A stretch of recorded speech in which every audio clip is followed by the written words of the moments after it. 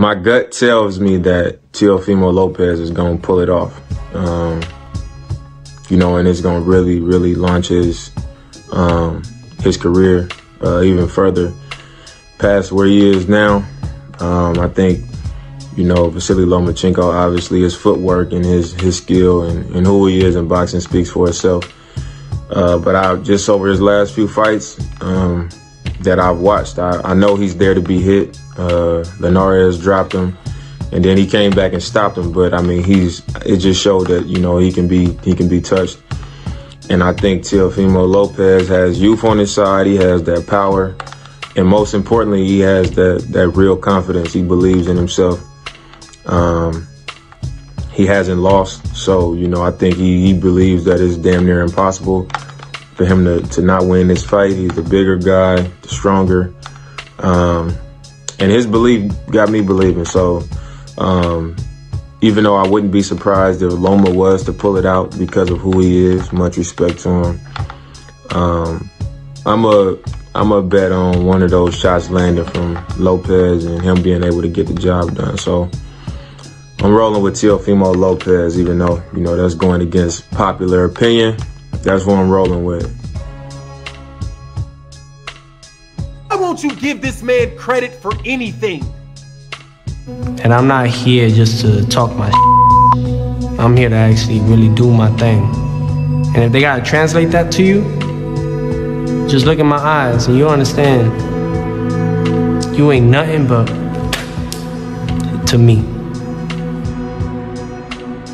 You know what? I I don't understand Lara what he said because I don't I don't understand English. So maybe it's not very it's it's not working with me. I boring and just about fight and what happened in the ring. Why won't you give this man credit for anything?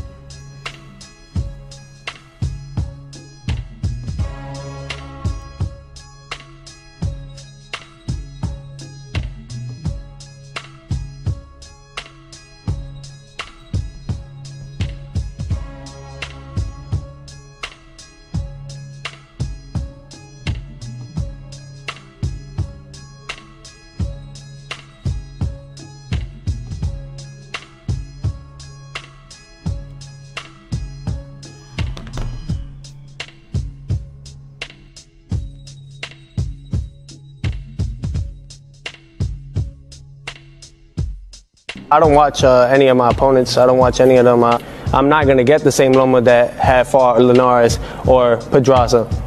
You know, so when we get in that ring, you know, then we say, then I, I get to do what I what we've been working on. It's everything and everything. I mean, it's the best fighting the best. The uh, entertainment sport. You know, this is where it comes to. So, really, what it comes to is, man, uh, I like to show off. He got the ring IQ. I think he sees the ring IQ in me and we just gonna we're gonna display it October 17th, and I'm looking forward to it. Enjoy the show, man. Uh, it's a takeover against uh, the high tech, they say, and uh, two of the guys going at it. Um, anything can happen. One punch can change the fight, or one one punch can end the night. So, you know, tune in. So here's Top Rank quoting Anthony Crolla before he goes into a fight, before Lomachenko goes into a fight against Teofimo Lopez. He says, I remember the years before I fought Lomachenko, Ross Aber, Amber, who wraps his hands, told me he was the best he'd had seen. He said he sees moves, three or four moves before they happen. And that's what came to my head when I was on the floor face down. okay. You're getting punched, and then when you want to throw yours, you can't find him. That's frustrating. Jose Pedraza.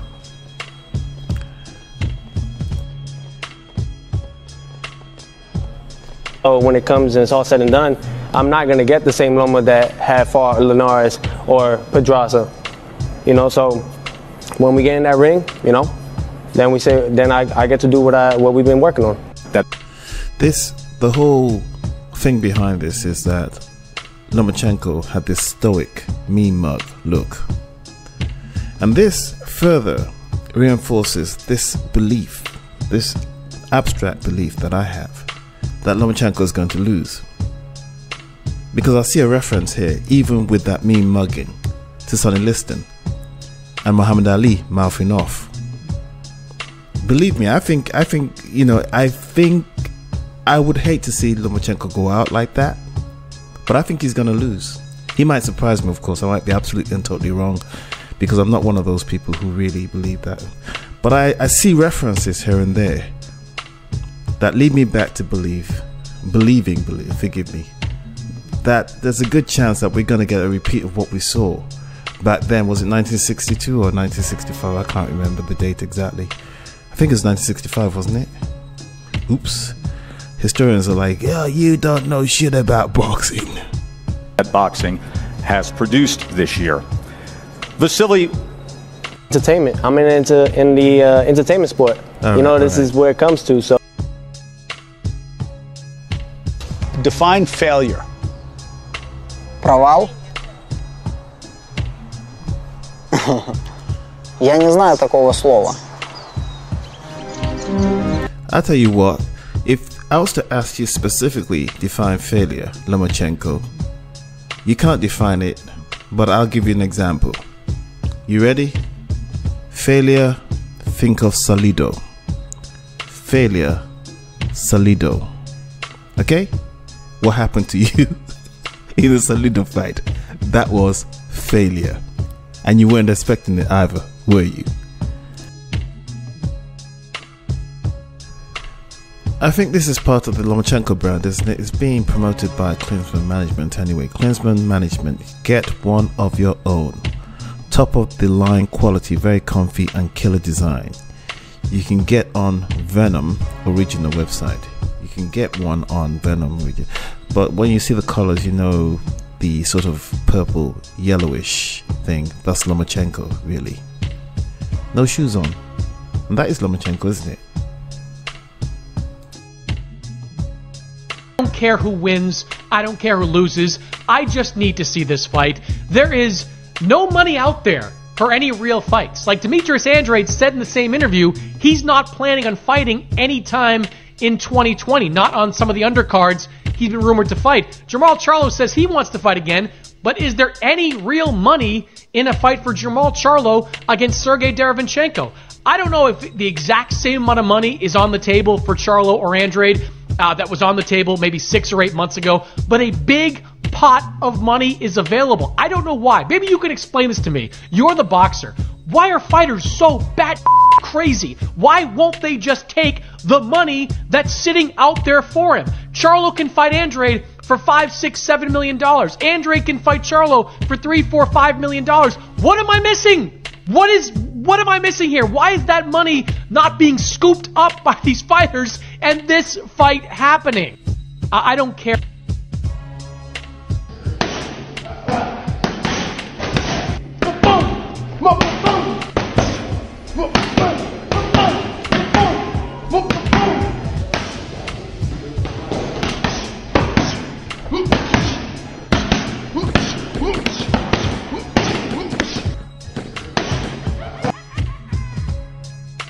I'm very excited for my first fight as part of the PBC stable. I've been wanting to come over to this side for a long time and it's finally happening. That's Regis Prograis as he goes into a fight against his opponent Juan Heraldez, who says the following. In my last fight against Argenis Mendez, I remember that name from Dominican Republic is one of those guys that I always think about when I think that Dominican fighters are lazy, forgive me. I learned that I have to really control I have to really control of the fight. Okay, bad grammar. I thought it was me. I can't let there be 50 50 rounds and leave it in the judge's hands. I have to take as much control as I can over the fight. Well, not you're not going to do that with this guy here, though. You're not going to do it with Regis Prograis, are you? But with Argenis Mendez, yeah, probably. I should go back and watch that fight. I haven't seen him in a long time since he got beat by who? Got beat by was it Rance Barthélemy? or something like that. I haven't seen it since then. Mayweather fighter, Mayweather Promotions fighter Adrian Benton, not Adrian Broner, Cincinnati, Ohio. Whoa, I guess since he's got the same name as Adrian, AB, since he's got the same AB, let's outline that. Okay, let's li- let, let's outline that since he's got the same AB right there, and it comes from Cincinnati, Ohio that Adrian Broner is gonna have some influence on his on the way he fights. I would be surprised if he didn't. I'd be surprised if he didn't because Adrian Broner was a big deal at one time in Cincinnati, Ohio. 4 0, 3 knockouts, 287 to 16 amateur record, age 20, 5'9, 135 pounds. Okay, uh, that's good lightweight.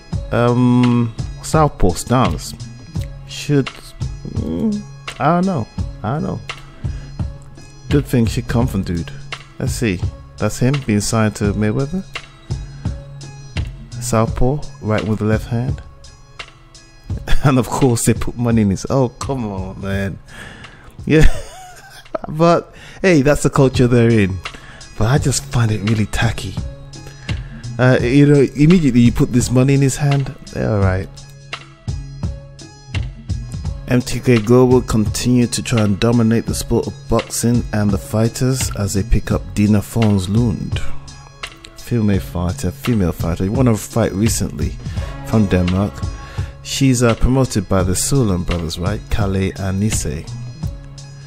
And I find her a bit attractive. She's kind of short though. So as we get ready for the Ritson Vasquez fight, that's Ritson right there. He's got the cause of Newcastle on, Geordie Golovkin, as uh, Eddie Hearn likes to call him, flattering him really. Miguel Vasquez, old veteran. You know what I mean? I don't know. Never seems to look any better, or you know, stuck in Mexico. Well, actually, is he Mexico or America? Anyway, that's the uh, I've forgotten his name. Aquif Ash, uh, uh, uh, something I can't remember his name. Anyway, these two guys are fighting. Leech. I don't know these guys. Um, Scottney Connolly. Gosh, she looks butch. Jesus. She's pretty though. I'm not trying to put her down. It's pretty. Hmm. Let me see, who else is there? Oh, Ward Asumba. Asumba. Asumba, right? He was on a Frank Warren card recently, wasn't he? I think he was. Very recently. Alright. On a dangerous fight. You know, I don't expect Fury to have a dangerous fight in December, and, you know, don't blame him. You know, if you really want to fight, he'll go and have an easy little fight. He's just beat Wilder, let him have one. But ah, we've got a real fight. And we can't afford to sit there and say, yeah, Fury, let's do this. You know, I can work behind the scenes on that, but we've got to be a million percent focused on Pulev because he's a world class fighter. And that whole team really believe they're going to win this fight. You mentioned obviously Deontay Wilder. We're still yet to really hear anything official on the mm-hmm. record from him. What do you make of, of well, the seemingly the situation that we're in and the reports coming out about that third fight? I don't know. I don't know what's going on. You know, I mean, I've said, I can't remember the amount of interviews I've said, where is, like, you think you just put a post out, wouldn't you? Going, guys, I've been laying low, I'm focused, I want my belts back. I don't know. But it's so weird. And contractually, what sort of job have these people done for the Deontay Wilder? What? It's just evaporated. The rematch clause. You've just come off a global pandemic, right? Called force majeure. So you're basically being told that bye, see you later. You know, where are these people coming out and enforcing their rights? They obviously don't have no rights. So it's, it's a disaster all round. And now Deontay Wilder, what's he? I, I, I just, you know, I don't. Something's very strange. You know, and you basically, like I say, you've got Bob and those guys coming out saying, "See you, mate," and Shelly comes out and goes, "No, no, we do want the fight. Well, protect your rights if you've got any." But does he? Want, I mean, yeah, weird, weird, really weird. But mate, listen, maybe Wilder just don't. He ain't got it in him. Maybe he's got his, you know, 20 million or 30 million and goes, "Do you know what? I don't need this in my life anymore. And if that's the case, good luck to him. But how can you not want to avenge your defeat? You know, you imagine AJ uh, or us off the back of the Ruiz situation, getting in a position where you, he just went missing and you didn't hear from him. And then I just came out one day and went, you know, and Ruiz's team went, sorry, it's expired. And I go, oh, God, well, we did want the fight, but. And then Ruiz just goes off and defends the belt he won off you. Fuck that. When AJ lost, I've never seen a man more focused to get his belt back and to beat this guy. So that's sometimes the difference of what's in some people and not in other people. But I just, you know, weird, weird all round. You know, weird from Wilder, weird from the team and Shelly think like, I just, how do you let this get in this position? It's poor management. No, and this guy's credibility will never be the same because he didn't take a rematch with Tyson Fury. What do you think the, the motivation behind it is? Obviously, we're hearing about a potential retirement from Deontay Wilder. We're hearing from America It's a date for January that was, was, was put towards ESPN and Tyson Fury and his team. What do you think is, is the motivation? Listen, if he, I would never, ever, ever, you know, tell, tell a man they, they shouldn't retire or, you know, but because this is a tough sport and he's made his money and maybe he doesn't have the appetite for it anymore. But like, winning is everything. So how can you not want to avenge this defeat? And by the way, the defeats by Ruiz over Joshua and by Fury over Wilder were quite similar in that, you know, they were quite humiliating. I'll say it. AJ went down, he got hurt, he couldn't recover, he went down, what, four times? He kept getting up, but you know, after that third round, it was very one sided Randy Ruiz. So AJ didn't have to pick him up from losing close, himself up from losing a close points decision. You know, he suffered humiliation at Madison Square Garden that night, and so did Deontay Wilder against Tyson Fury. But two very different individuals. One dusted himself down, and the day after the fight, when I went to his place in New York, I knew, looking at his eyes, he was going to get this back, and nothing would stop him. And you know what? Look at Dillian Whyte against Alexander Povetkin. Like when you talk about humiliation, okay, Dillian Whyte was winning the fight comfortably, but that knockout, you know, although he was only down for eight seconds, he was sparked, right? And how many times that been played wrong? You know, how many people have laughed at that who don't like Dillian Whyte? You know, played it back, oh, look at him on the floor, look, yeah, let's do a meme, right? So you, you see that guy, not only goes, I want fucking, I want to, let me fight, let me at him again. He's doing it 13 weeks later. So I just don't, it, it has to be the, the, the fire. I don't know. Like, I can't, if it was, if it was a lot, if it was actually every fight that I know, listen, even if it was me, not a day would go by without wanting to do that again and win my belts back. I don't know. I mean, you tell me, wouldn't you? I mean, would that, are you that kind of person? Like, wouldn't you want to get back what you, you know? Wouldn't you want to create history? Wouldn't you want to try and win your belt back? Wouldn't you just try and want to overcome adversity and prove people wrong and win your world championship back and become a two-time world heavyweight? Sorry, we're back now. if, if, if you're injured, say something. You know, if you don't want it anymore, if, if you ain't got it in you, say something. But I don't, the, the silence is awful. You know? And if you don't take this rematch, which looks like it's just gone anyway, you, people will never look at you the same way. Never. Could it, obviously, we're in the, the pandemic, and there was missing out on a twenty million dollar gate from the Vegas fight in February. Could it just be a simple case of you know not having the money to pay the guarantees? Is it a network issue? Do you think? At the end of the day, mate, if I would have said to AJ, you can do the rematch, but you got to do it for free, he does it. If I said to Dillian Whyte, you can rematch with Vetkin, but you got to do it for nothing, you do it. Right? You, if you want it, you make it happen. Right? And, and although everybody wants to maximise the earnings for their fighter, blah blah blah blah blah, mate, if you want it, you are driven to win that back. By nook or by fucking crook, you go and get it. Where does this leave AJ Fury, Eddie? Um, how is this pushed up forward? Fantastic. I mean, you know, you've seen the comments from Bob and that. You know, all we've got to do is win our fight. And there are, you know, he's right. The terms of the deal were done. We know that. Was, you know, we announced that ages ago. The only issues are a couple of TV issues, which are very, very solvable. I don't see him causing. And, and again, I just, I don't see any disruption for that fight. I, AJ is desperate for that fight. Fury, I believe, wants that fight. I believe he thinks he can win that fight. You know, it's a huge amount of money in that fight.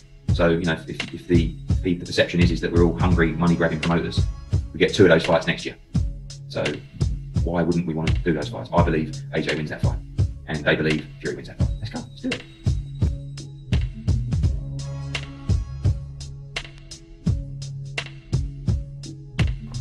So this is an interesting story actually.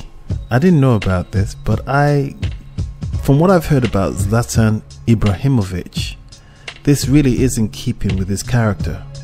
And I've got to be honest with you, that's that sort of humble stuff that Anthony Joshua does is genuine, but it doesn't instill confidence and it makes you vulnerable to people who might be vulnerable but don't show it. A lot of things are about perspective and how you actually um, project yourself. And I think what the advice, the advice that Ibrahimovic gives Anthony Joshua here is important because you see that a lot with a guy that I believe to be an absolute and total fraud, but has made it work for him. Not Deontay Wilder, by the way, but Tyson Fury. That guy really, really annoys me. He really annoys me, but he's been able to sell it. Uh, Of course, there are other things that have aided him, which we shan't get into. It is what it is. You know what I mean? I think that the extra challenge that people, uh, such as Anthony Joshua, or even Deontay Wilder, or a Dillian Whyte, and so on and so on face. It's just a part of life and it makes him stronger. Nonetheless, what I read here is interesting. It says Ibrahimovic told Joshua to ditch his modesty. He pointed out that Joshua said, I'm not perfect, but I'm trying.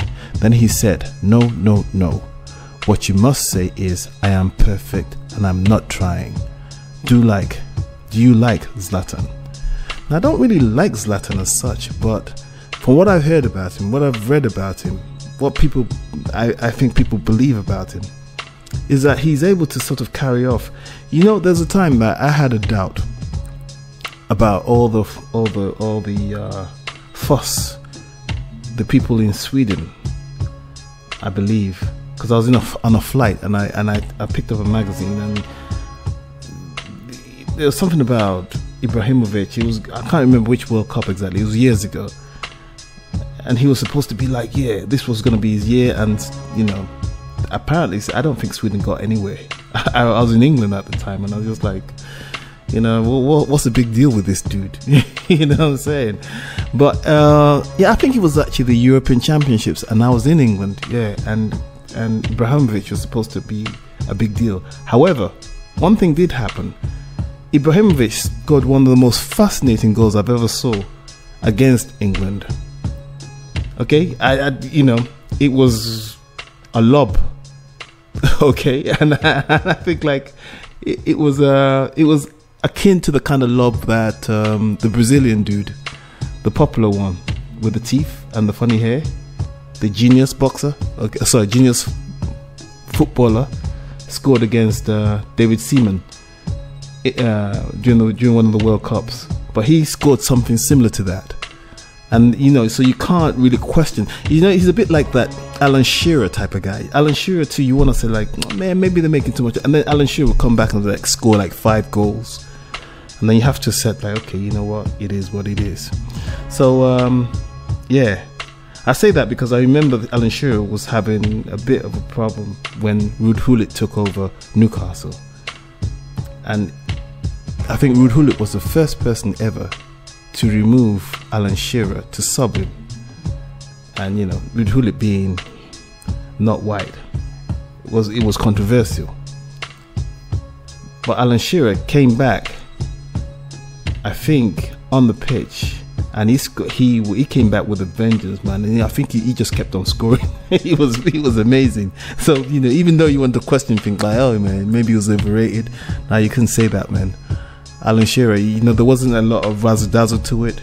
It wasn't fancy, but it was effective as fuck. It was effective. It was as effective as uh, as Van Nistelrooy for Manchester United back then. I used to watch football. Can't stand the game now.